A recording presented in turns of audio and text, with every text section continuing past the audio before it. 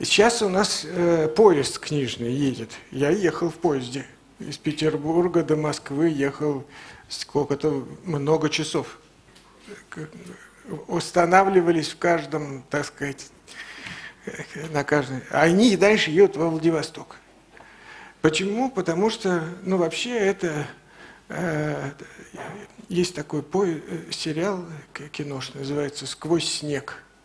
Там полный конец света, и, значит, вот кто-то отдельный спасся и едет, значит, на этом поезде сквозь снежную равнину бесконечно, значит, и не могут остановиться, потому что если остановятся, все электричество и конец, и не будет работать. Вот у меня напоминает этот поезд сквозь снег. Потому что читателей у нас, я вам должен сказать, становится все меньше и меньше. Э, ну, даже если посмотреть на полки книжных магазинов и посмотреть, что тут продают, то очень мало что из этого можно на самом деле считать литературой. Вот. И, к сожалению, мы э, движемся в направлении комиксы, понимаете, картинки э, какая-нибудь и прочее. Я не против в целом, почему нет? Вот. Единственное, если бы существовала и продолжала существовать э, серьезная книга. И почему я говорю про книгу в таком отношении? Не только потому, что книжному маяку уже 10 лет, и я каждый год в нем участвую, мы там проводим всякие круглые столы, встречи и прочее. Не просто потому, что сейчас мои товарищи садятся и едут дальше, значит, в светлое будущее, в Владивосток на книжном поезде проводить эти мероприятия. Дело в том, что человечность у нас определяется текстом. Появление текста, ну там, по 10-7 э, тысяч лет назад – мы от этого считаем культуру свою. Мы считаем свою культуру от появления письменности. Когда мы стали писать. И мы писали за эти несколько тысяч лет, ну, на самом деле, вспышка по э, меркам эволюции или вообще всего нашего этого космоса. Мы писали самих себя – Потому что человечество э, пишет то, что для него актуально, и может смотреть на это. Мы сами с собой не можем встретиться. Мне иногда говорят, а вот, может быть, правильно говорят, что полюбите себя. Я говорю, прекрасно. Как вы встретитесь с собой? Ну как? Вам кажется, что когда вы туда смотрите внутрь себя, вы там, а кто смотрит? Ну, вопрос. В зеркале это отражение, может, оно врет, никогда не знаешь. И текст – это то, с чем мы э, смогли встретиться с самими собой. У нас не было бы ни культуры без текстов, у нас не было бы э, цивилизации, у нас не было бы открытий. Понимаете, для того, чтобы опровергать Птолемеевскую концепцию мироздания, геоцентрическую, для этого нужно было прочитать сначала, посмотреть и увидеть, что там что-то не так. Мы ничего не полностью вымерло египетская культура не оставила ни, ни кирпичика, понимаете, не осталось известно про них. Полностью. Две тысячи лет они были под всякими разными завоеваниями и обрели независимость в Египте только в 20 веке. И впервые свою нацию. У них ничего не осталось. Но расшифровали, что написано на пирамидах, понимаете, что написано в храмах, что написано во всех этих склепах и так далее. И мы видим красивейшую, огромную цивилизацию просто с невероятным мировоззрением, то, которой восхищалась, э, в которой восхищалась Древняя Греция, которая восприняла, собственно говоря, всю геометрию, всю мистику. И Пифагор учился в э, Египте там и так далее. Вот сейчас мы находимся на грани, когда у нас в целом, вот еще чуть-чуть, и люди перестанут. э, Понимаете, мы же функционально читаем. Сейчас все говорят, ну мы читаем же, но это функционально. Вот сейчас раз, и, и будет удобнее голосовой помощник, раз, и будет удобнее просто голосом, жестом э, там, и так далее. Вот э, сейчас выйдут очки эти Apple, там сидишь пальцами, крутишь, и у тебя вся реальность, картинка ожила, понимаете. Вот. И, и зачем будет? Сейчас-то так пишут, уже, уже непонятно на как- каком языке. Раньше было неприлично, когда ты что-то неправильно пишешь. Ну, неловкость там, неправильно написал, стыд. Сейчас пишут вообще просто э, без зазрения совести. Такое, думаешь, Господи Боже мой, ну, э, э, и, и главное еще суждения пишут. Депрессия – это не болезнь. Ну, например. И я регулярно читаю. Вот, и так далее. И мы теряем язык. Мы теряем способность к воспроизводству сложных интеллектуальных объектов. Значит, что такое книга?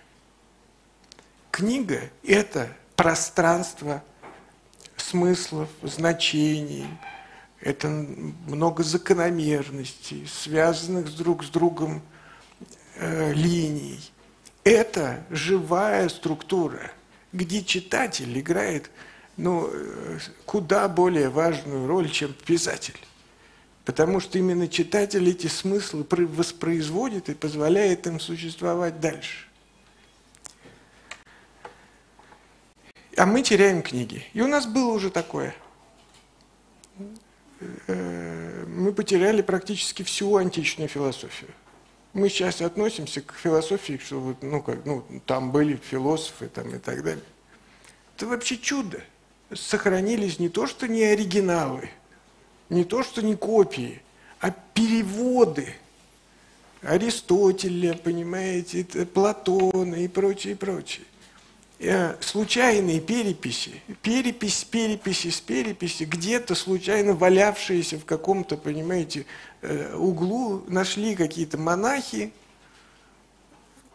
от, от- по- расковыривали, так сказать, переписали, и у нас мы живем с мыслью, что у нас античная культура, мы такие, мы ого-го.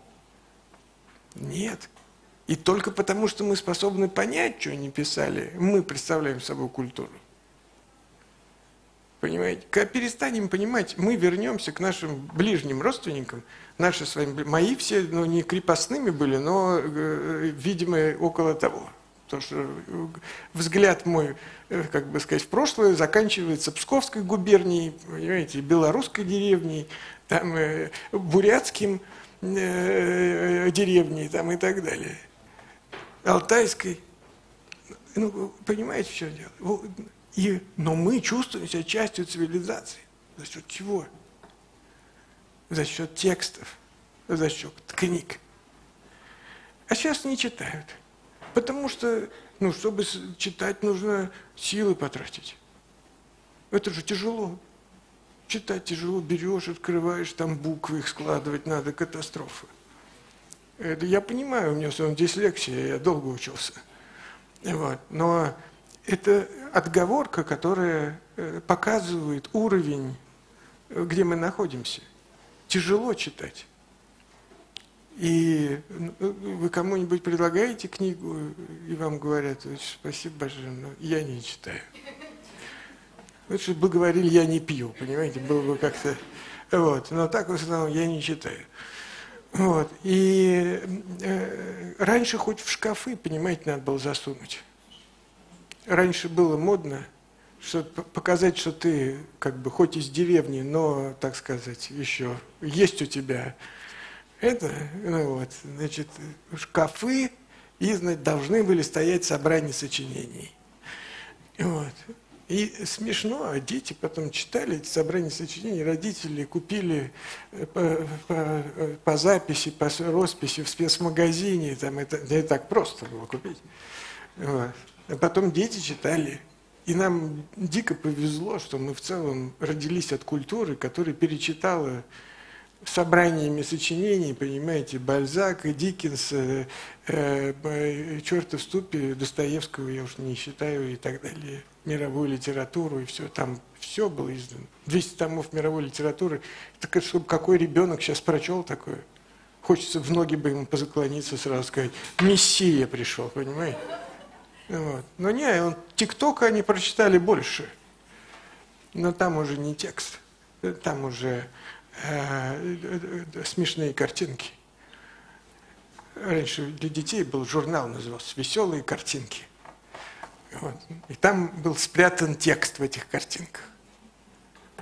Сейчас просто веселые картинки. Все. Вот. И мы с вами вот находимся в, в, в риске. Вот. И мне кажется, что э, вообще дело каждого человека, который себя э, считает культурным, это продолжать популяризировать э, книгу как инструмент. Нету лучшего собеседника, чем книга. Особенно сейчас. Нету лучшего источника знаний, чем книга. Особенно сейчас. Нет лучшего психотерапевта, чем книга особенно сейчас. А, и вот способность создавать эти сложные, воспроизводить да, сложные структуры романа или научно-популярной литературы и так далее, это характеристика культурного человека, у которого есть внутренняя жизнь.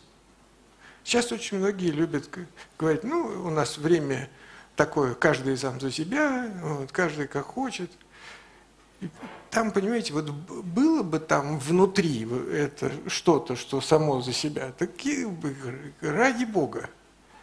Вот. А когда там измерение 10 нанометров минус, вот, и, и при, при этом я и быть собой там и так далее, я бы побоялся гордиться, понимаете, этой индивидуальностью. Вот. Поэтому книга – это важно. Едет поезд, э, там замечательная атмосфера, прекрасные э, люди, писатели, э, такие Дон Кихоты, вот, которые еще продолжают писать. И я очень рад этому и поддерживаю все. Вот. Сам я даже вот не понимаю, про что, собственно, писать. Ну, у меня много идей, конечно, вот, но с точки зрения чтения, э, я, я же вижу, читают книги или нет. И все меньше э, меня читают. Вот.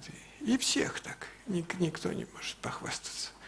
Только по тиражей за прошлый год на 6% меньше по, по кругу. А с учетом галиматии, которые печатают, ну, как бы, считаете, вообще нет. Вот. Поэтому мы в риске с вами находимся. И об этом я написал книгу «Дух времени». Я, кстати, там разбираю отдельно, как э, происходило становление цивилизации Гутенберга, значение текста там, и так далее. Но это только маленькая часть. Потому что изменение, книга просто симптом. Люди перестали читать, это симптом. Э, симптомов много. Симптомов в целом увеличивающееся количество жестокости и такой гнусности. Вот социальная инженерия, например. Э, Но ну, это просто какой-то сейчас э, беда. Просто людей обманывают, разводят, кидают и так далее. И это в огромном количестве. И ни у кого даже внутренне, ну как бы, ну посочувствуем как бы человеку, который попал в такую ситуацию. А так в основном руки разводим. Ну, что поделаешь уже? И никто ничего не может. И это уже норма. И это просто тоже симптом. Симптом, что эм, появилось много людей, э, и чья, э, у кого нету человеческого. Вот. И э, симптомов много. Симптомы такие печальные. И вот я все время думаю, ну а что делать? Вот. Ну, в целом у меня веселая история. Вот. Значит, во-первых, там те, для кого это жизнь, для меня предмет исследований.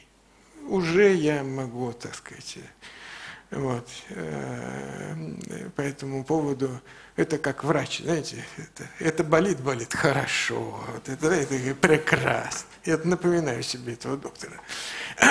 ну, что хорошо, что хорошо. Ну, диагноз зато красивый какой получился, да? доктор доволен. Как говорит, доктор сыт и больному легче.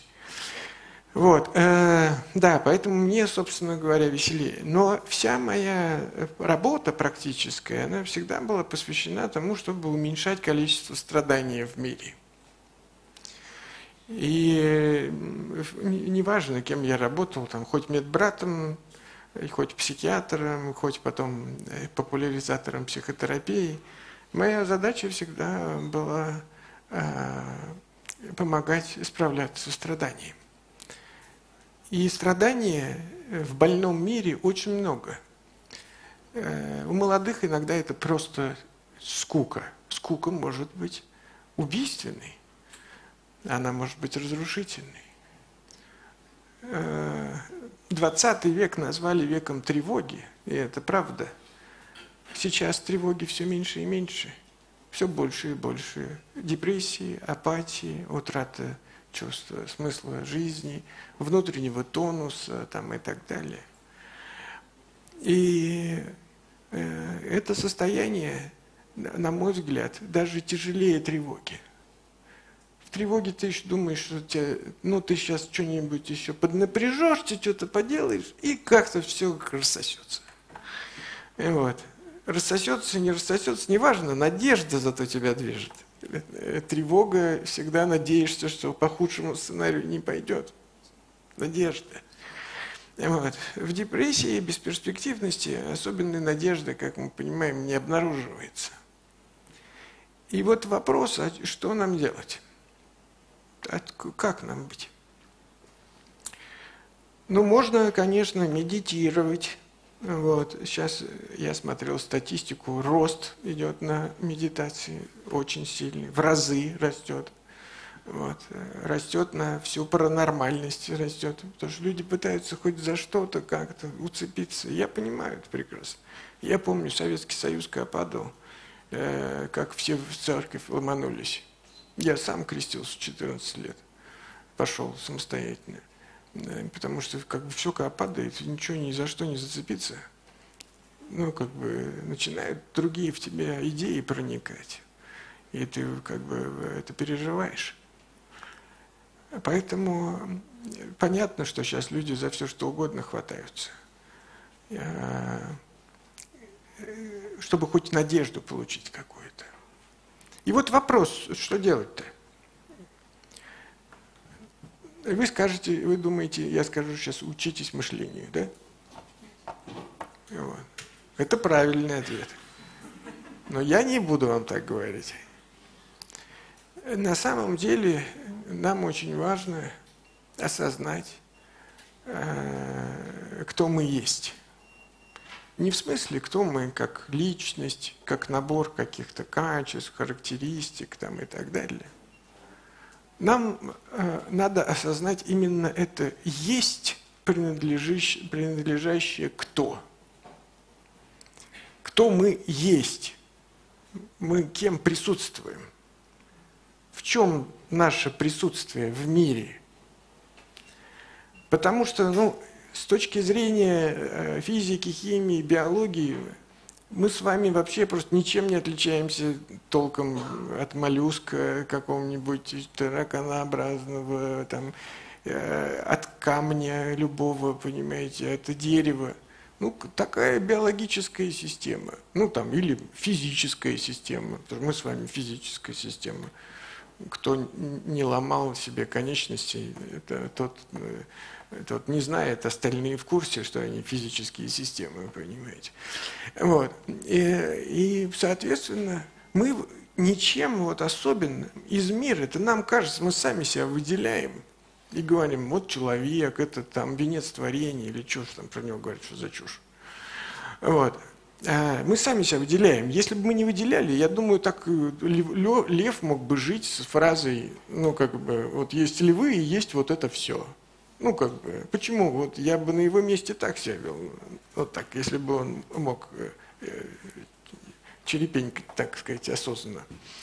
Вот. Мы просто себя выделяем, а так-то мы ничем не отличаемся. И отличаемся мы от всего только кто мы есть нашим присутствием. Потому что наше присутствие – это э, точка, в которой меняется мир. Во всем остальном он течет как э, одни процессы, другие, химические элементы, э, воды, континенты, материки, там, чертов стоп, все движется, находится в движении. И мы также из, из, из, из, это, что, из, из, из праха в прах переходя, понимаете, там движется народ. Вот. Э, нет никакого э, изменения. А вот когда мы осознаем собственное э, бытийствование, собственное обращение в мир, когда мы действуем в этот момент не на, автоматизмах, которые были созданы всем нашим предыдущим опытом, привычками, культурой, воспитанием и так далее. А когда мы действуем, осознавая, что это действие нас. Вы десять раз подумаете, а даже и не думать не будете, это будет очевидно, что имеет смысл делать из этого своего присутствия, а что не имеет. Что важно, а что чушь собачья но только из ощущения того, что не кто-то вас признал, пришел к вам и сказал, ты хороший человек, э, все нормально, молодец. Или там, ты красивая, или там, ты умный, или еще что-то. Не из того, что нам признали нас, разрешили нам быть. Все же живут мыслями, переживаниями, как там про них кто что думает, кто что скажет, как это выглядит и так далее. И это все мысли-то трусливые. Трусливые. Что меня оценят, что меня как-то скажут и так далее. И ждем, что придет и скажет, на, на, все, хорошее, хорошее, возьми с полки пирожок. Вот. И мы так, ай ля ля ля ля нам дали возможность быть. Но мы по человеку, как бы сказать, сущность свою ощущаем через вот это осознание того, что это наше искреннее внутреннее действие, потому что это наше, наш вход в мир. Вот задумайтесь над этим образом. Вот вы, например, ложитесь вечером спать, засыпаете, вас же нет. Потом вы просыпаетесь. Ну, я не знаю, как вы просыпаетесь, я хреново просыпаюсь. Ну, то есть, я просыпаюсь как надо, и ненавижу себя первые несколько часов жизни. Вот. Э, серотонин мой полностью израсходован, и, и, и состояние мое, пока он не накопится, я, мне тяжко. Вот. Может, кто-то есть веселый. Там, вот. Но я, если сразу сяду за книгу, это лайфхак в 6 часов вас поднял, вы сразу просто доползите до, до компьютера и начинаете книгу писать. Оно быстро расходится. Вот. А если вот чуть-чуть запоздаете, вот оно накроет вас. да. И мы засыпаем и присчезаем. Но в жизни, когда вы бодрствуете, вы тоже большую часть как бы бодрствуете, как спите. Ну, там автоматические мысли, какие-то суета какая-то, там то все, побежали, то не успеем. Тут... Э, кто сюда опаздывал? Вот, я тоже. Вот. И тоже все, вот. И мы как автоматы, понимаете, в этот момент. Там люди ждут. Да? Вот. Вы в курсе. Вот. И это состояние, понимаете, это как сон. Это вас как нет. Ну, потому что это без вас. У вас ощущение, что вас можно в этот момент вынуть, а вы продолж, продолж, продолжите суетиться также там на, на площадке.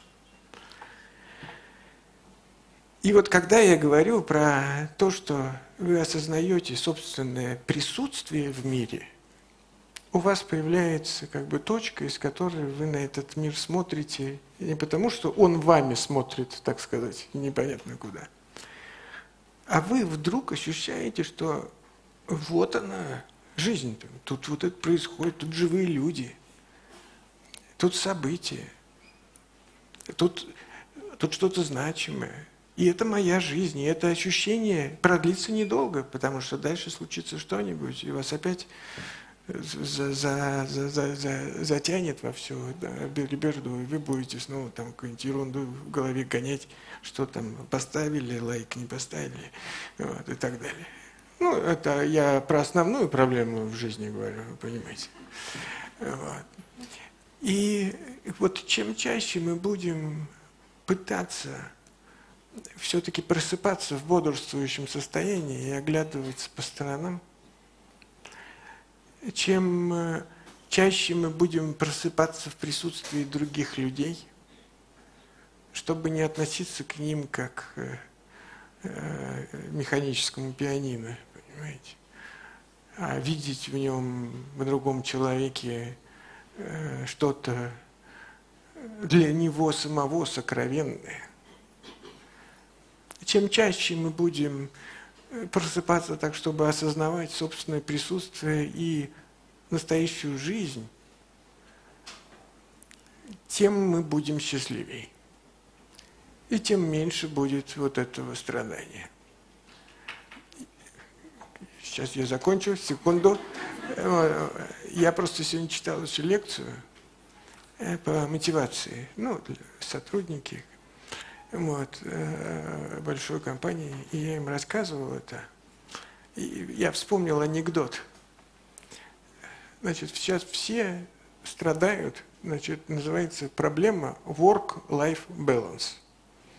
Кто в курсе, кто не в курсе, э, смысл в том, что мир вдруг задумался, что у него есть жизнь, а есть работа – ну, я все пошутил сегодня, говорю, ты у меня трупом, что ли, работаешь? Я не анатомическое, так сказать, подразделение.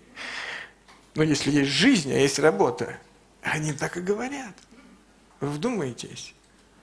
Я вспомнил советский анекдот, что когда вы выкуриваете сигарету, у вас э, умирает 10 минут жизни вы теряете. Выпиваете бутылку водки, вы час жизни у вас уходит, понимаете, к чертям.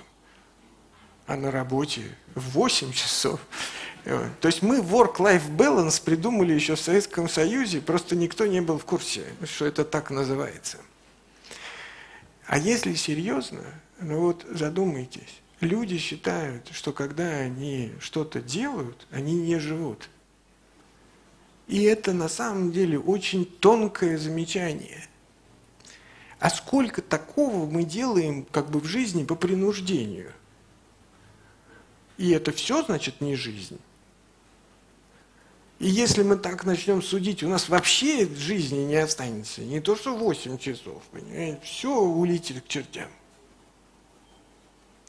И когда вы вот это осознаете, что жизнь это не какие-то счастливые моменты, которые происходят после долгих мучений, э, когда вы отработали, там что-то еще сделали, там выполнили, отсуетились, натревожились, нагоняли этих мыслей. А жизнь происходит именно сейчас, вот в, именно в этот момент. И что нету смерти в жизни – вы не умираете, приходя на работу. И даже если вам приходит ваш кто-то близкий и в дурном настроении, ну вы, конечно, можете прикинуться трупом, сказать, что я не живу, но буду вынуждена поддерживать все вот это. И поддерживать будете хреново. И сами будете страдать. Но как только вы Слушайтесь, вы осознаете, кто вы есть, что вы есть, делаете да, в моменте. И это ваше действие. И от работы вы можете начать получать удовольствие. От общения с близкими, даже если он не в лучшей форме. вы можете получать удовольствие. Потому что вы же в этот момент как вдохнули, как зажили. И это идет от вас, от вашего вот этого вхождения в мир. Вы просыпаетесь, видите, и у вас естественным образом возникает желание что-то делать, что-то чувствовать, что-то переживать. И мне кажется, что вот мир, в котором мы сейчас оказались, и, и книга симптом. Потому что книгу, когда читаешь, ты же как бы уходишь из мира. Но ты же его создаешь в этот момент. Там эти писатели все померли уже. Ну вот, может, не кто-то еще жив. Но в целом могли помереть. Вот. А вы это создаете. И этот вопрос как креации, да, создания э, мира, который вы получаете из книги, и создание самих себя в мире, когда вы осуществляете в нем свое присутствие и действие, просыпаясь от автоматизмов. Это делает нас людьми. И я очень надеюсь, что это как можно дольше профункционирует. Спасибо за то, что выслушали. Андрей, благодарим вас за эту мотивационную встречу. Э, наша... Мы еще не расходимся. Нет, мы еще не расходимся, конечно, да. Наша э, творческая встреча проходит в рамках фестивального движения «Книжные маяки России». И ваша речь для многих из нас стала действительно такими маяками. Да? Есть о чем задуматься. Мы получили очень важную и полезную информацию. За это вам большое спасибо и наши аплодисменты. Спасибо большое. У нас есть еще немного времени для того, чтобы задать вопросы автору. Пожалуйста, поднимайте руку, я подойду с микрофоном. Вижу.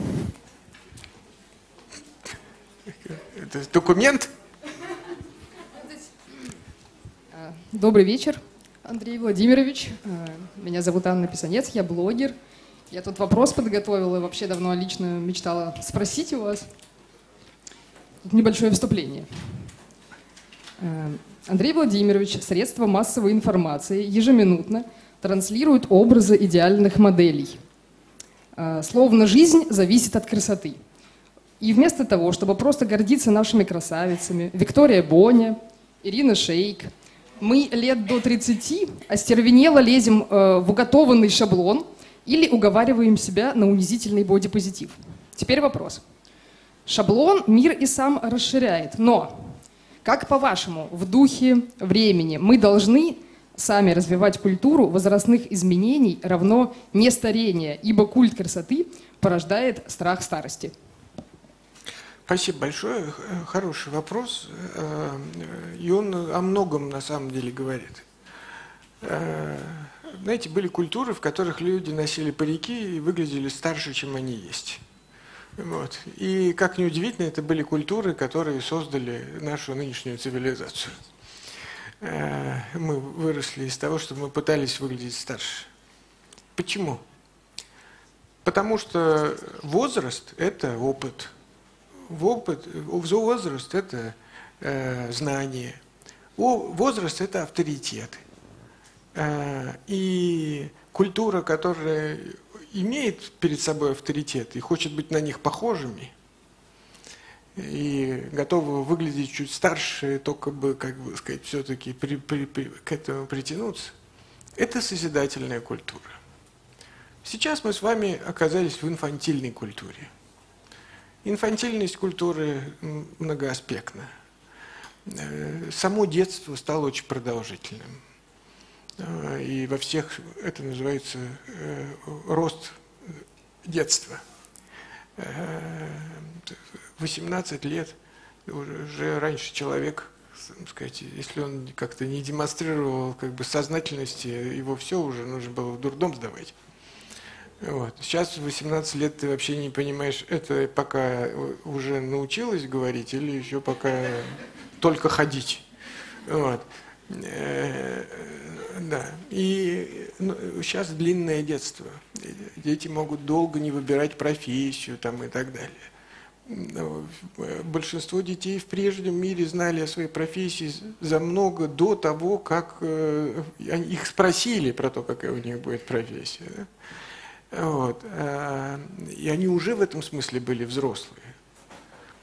Значит, сейчас взрослые люди пытаются вся эта косметологическая, вся это натягивание кожи, э, значит, я ничего не имею против, но просто сама, сам этот подход, который попытка как бы сохраниться э, в молодости, в детстве, в этом, вот эти странные одежды, понимаете, когда человек, на, э, вот эти модные бренды, которые выпускают там какие-то майки, пиджаки, значит, там с, с мультяшными героями на э, этом, как его, на, ну, посмотрите, Филипп Киркоров, он все у него всегда надето, что нужно.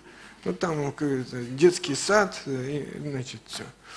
Вот. Э, это модно. Кроссовки, которые там как бы как детский сад, это, это оверсайз размеры, это, папа ушел с работы, мы стащили его куртку и вышли на улицу в его же ботинках. Вот, значит, э, инфантильность в том, что мы смотрим, телевизионный контент – Э, контент э, киношный. Самые популярные фильмы – это мультики. Эти вот Марвел, Марвелс, да, Человек-паук, Человек железный, Человек еще что-то. Вот. Финист Ясный Сокол, вот была хорошая сказка. Вот. Но та хоть с моралью была, Тут мораль непонятна. Кто-то кого-то наежил и весело выскочил в очередную сагу. Ну, вообще. Вот. И это же все смотрят. Дисней снимает, э, снимают мультики в расчете на взрослых и детей. И вот я вам точно говорю, вот был, были Винкс. Кто, кто сталкивался? Да, вы знаете вот это все. Вот. Но это ужас был, это было невозможно. Они все сходили с ума. Винкс Бивеликс, Винкс Чандикс, вот это все. Вот. Но имейте совесть, конечно, я знаю. Вот. И, значит, в один прекрасный момент, значит, э, они сделали фильм «Винкс», который показывали в кинотеатре. И я вам должен сказать, там был полный аншлаг. Вот но там были реально дети, вот, ну, несчастные родители, значит, там, как правило, сдавали на одного родителя, видимо, пятерых детей. Я в Москве ходил, кстати, это э, люксор какой-то такой был, что-то там какой-то был кинотеатр. И вот мы сидели там, это невозможно смотреть взрослому человеку, понимаете? Ну, потому что там, ну, просто один сплошной нечантик, они что-то куда-то преображаются, страшное дело. Вот. Ну, то есть логики нет, дети счастливы. Ну, слава богу.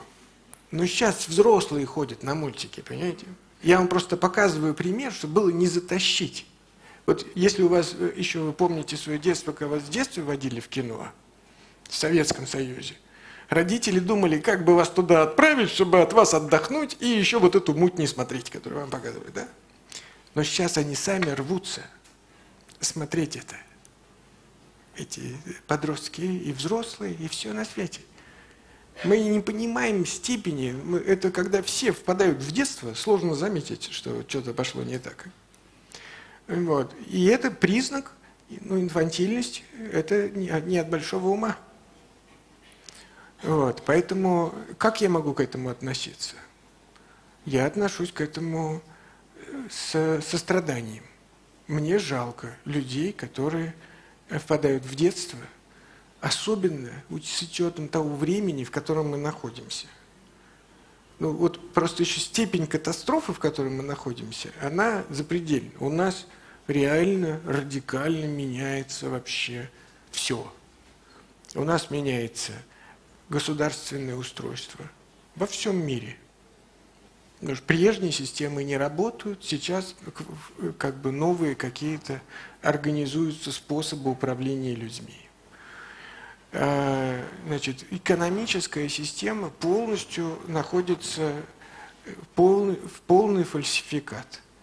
Потому что э, мир разделен на супербогатых людей, которые получают деньги из ничего просто потому, что у них много этих, как этих нулей на счете, и они, значит, их вот качают из одного фонда в другой, из одного акции в другой, из одних деривативов в другие и так далее, и так далее. Деньги на бирже делаются из перепродажи, из ничего. Ну, это просто рынок. Ну, как бы там не могут зарабатывать торговцы, там на рынке должны зарабатывать э, те, кто продает что-то на рынке, правильно? А зарабатывают торговцы. Только те, кто просто дает, перепродает, держит э, и плечи капитала использует. Все это фиктивное. Стоимость реальных денег никто не знает. Она давно отсоединилась от золотого стандарта и улетела в открытый космос. Нужно напечатаем столько, нужно напечатаем столько, нужно напечатаем столько и так далее. То есть полный швах. Технологии. Значит, идут технологии, которые э, заменяют людей. Все раньше боялись, что говорят, ну это роб, они, роботы, они заменят, значит, на производстве. Ну, дудки. Ну, то есть они на производстве, конечно, замещают, но самое главное, что они замещают сейчас креативные профессии. Я не говорю менеджеров, там прочее, юристов.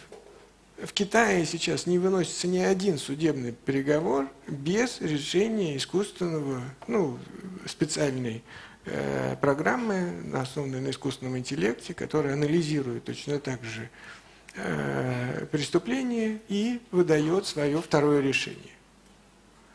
Гугловский врач, искусственно-интеллектуальный, дает сейчас результаты лучше, чем сдает при анализе Э, показания из пациента дают лучше, чем врачи. Завтра я буду давать интервью про возможен ли э, э, искусственный психотерапевт, искусственный интеллект. Предполагаю, что начну интервью со слов «ха-ха-ха». Ну, потому что он уже есть. Потому что те боты, которые работают, они работают в среднем лучше, чем большинство э, психотерапевтов. Ну, там, дальнейшее обучение до обучения и так далее.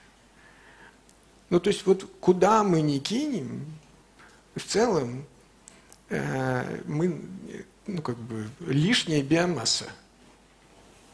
И вот в это время они решили впасть в детство. Ну, вот не нашли другого момента. Если бы это была защита, понимаете, они бы плакали – они бы впали в детство и рыдали. Вот. А они впали в детство и э, куролесят, вот, делая глупости за глупостями, понимаете, и так далее. Вот, поэтому э, я отношусь к этому не очень хорошо. Значит, плюс второй вопрос внешности. Значит, это, это ужасная проблема. Э, у, у нас внешность важнее человека – это, это факт. Люди э, переживают, они... Что такое анорексия?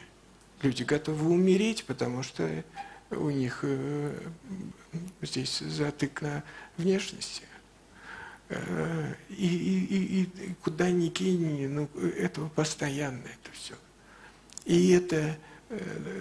И мы считаемся цивилизованными людьми. Вот, ну, как бы, вот, например, у, примитивных народов, какого-нибудь племени, я вам скажу, значит, э, вожак определяется силой физической. Что мы с вами скажем? Дикие животные, да? А теперь я скажу. А тут лучшее определяется по красоте. Какая разница?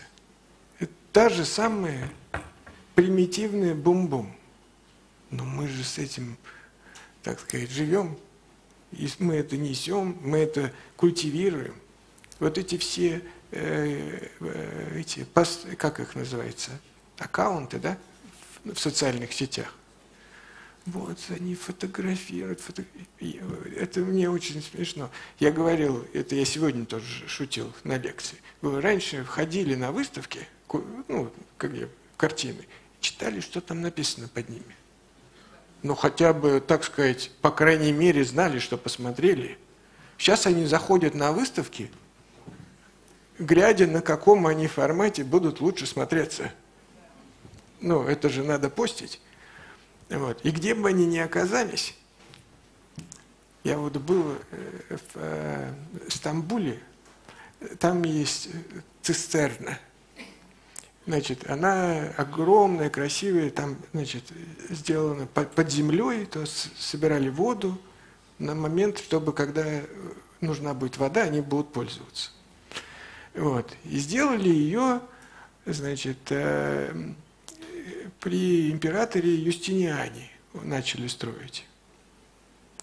И вот у меня там предельно драматическое ощущение.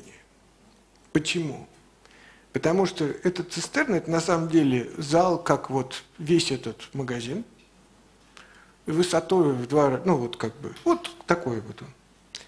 И он весь, это стоят колонны из поставленные друг на друга античные колонны с храмов. Значит, этот император Юстиниан, это тот, кто запретил античную философию, всякое преподавание. И он же был последним уничтожителем всех античных храмов. И когда вы спускаетесь в эту цистерну, вы спускаетесь в могилу античной культуры. И вот эти все храмы, эти разные-разные колонны, дорические, такие, сякие, пятые, десятые, это колонны некогда великой культуры храмовых портиков. Здесь люди верили, приносили жертвы, э, на этих же портиках они дискутировали там, и так далее. А сейчас это превратили в подпорку для канистры. И вот если вы понимаете это и смотрите на это, это называется, не забудьте никогда, что человек может сделать с лучшим, что он способен сотворить. Из красивейших э, вещей духа превратить это в, э, в утилитарную, э, криво-косо, там все через одно место, значит, вот эту цистерну. Ну что я там видел? кучу людей, которые весело бегали по мосткам. Там еще жидкость есть, это цистерна. И они ловят, там разная подсветка была. в какой-то момент одна часть включается этой большой колоннады, в какой другая, и они бегают. Я не знаю, что хуже. Я Юстиниана, у меня к нему всегда были вопросы. Но в целом вот это, это же просто какой-то, э, э, ну просто не то, что культуры нет, ну как, ну стыдно, понимаете, ну просто стыдно. И это наши культурные современники. Вот. Всех языков, народов, рас и, так сказать, и, и прочее. Вот. Поэтому в целом внешность, которая начинает определять Э, что-либо в отношении другого человека, это просто, э, это просто стыд и невоспитанность. Но с другой стороны, если людям больше нечем гордиться, если единственное, что они могут выставить на показ, это результаты пластического хирурга над своим телом, ну как бы им хочется сочувствовать. И это действительно трагедия. Поэтому э, я думаю, что нам, э, что нам нужно просто самим для себя определяться в том, что мы считаем э, правильным, но перед этим очень важно провести работу критическим мышлением. То, что я сейчас сделал, я просто вам продемонстрировал принцип мышления про это. Я сравнил красоту с физической силой, и оказалось, что мы, в принципе, подобный подход должны рассматривать как примитивный. Я сказал, что зачем этот человек делает, для того, чтобы как-то при, как бы себя преподнести, что он еще может преподнести вопрос. Я же, я, я даже не, я даже не сказал ничего плохого про этих кто людей. Я понимаю, я сколько лечил этого всего. Знаете, есть люди, которым короткие ноги, они, они себе э, развивают ноги. Ну, ломают их там и, и наращивают. Вот. Они не виноваты. Мы все виноваты. Потому что мы создали культуру, в которой внешность определяет то, насколько хорош человек. Ну и да, кто-то оказался более чувствителен. Кого-то больше дразнили, кого-то больше обижали. И поэтому это стало э, для него такой внутренней травмой. Но задумайтесь, из-за чего она? По поводу чего человек переживает? То, что я вам говорил. Как другие на меня посмотрят разрешат ли мне они быть. Они скажут, вот это красиво, о, я могу быть, я могу быть. Так не работает.